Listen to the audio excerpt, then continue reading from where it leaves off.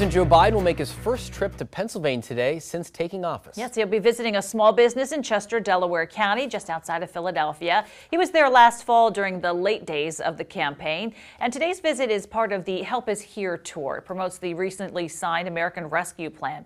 And yesterday, the vice president and second gentleman kicked off the initiative with stops at a vaccine clinic and food bank in Las Vegas. They'll be traveling to Denver, Colorado today. And yesterday, the first lady was in New Jersey and will visit New Hampshire today.